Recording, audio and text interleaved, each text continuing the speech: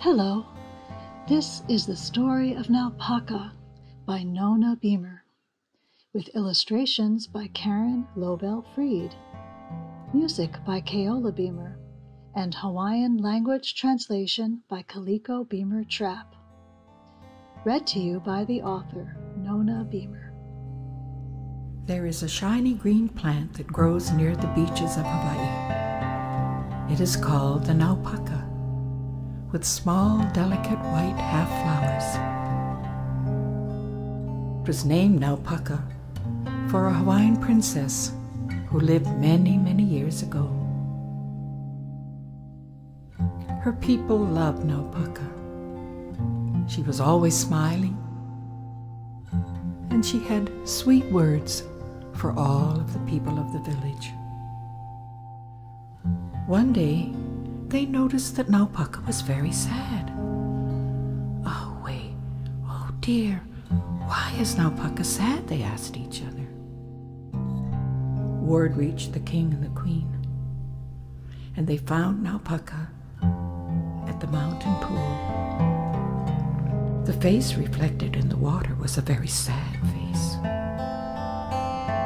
Oh, dear daughter, why are you so sad?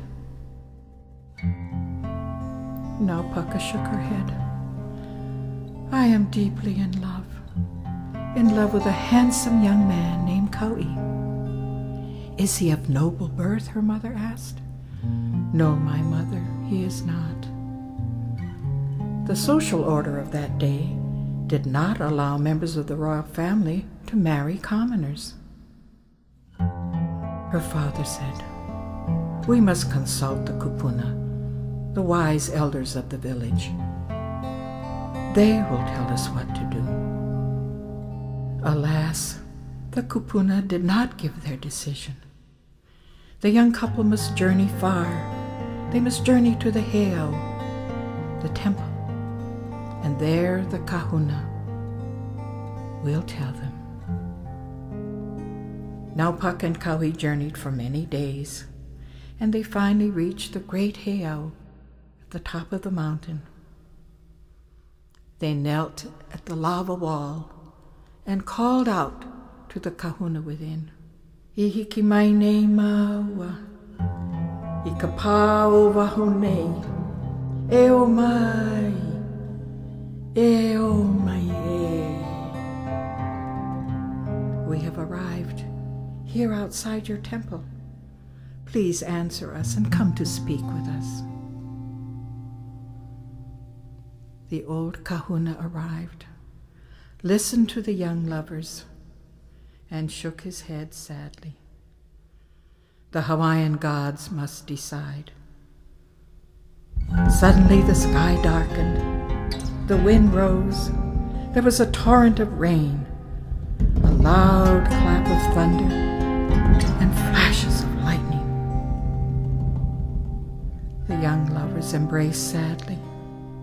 The gods had given them the sign. They were not to marry.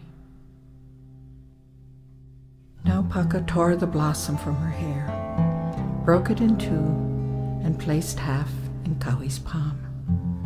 We will separate, she said.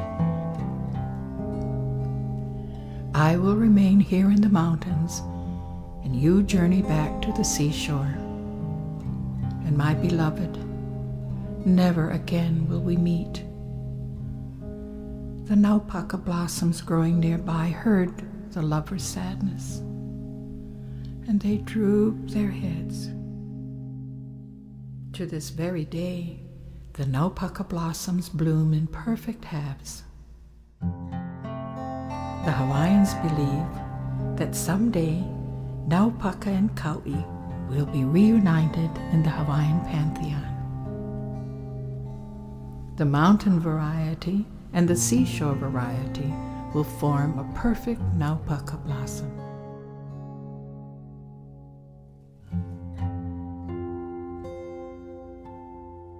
I hope you've enjoyed the story of Naupaka.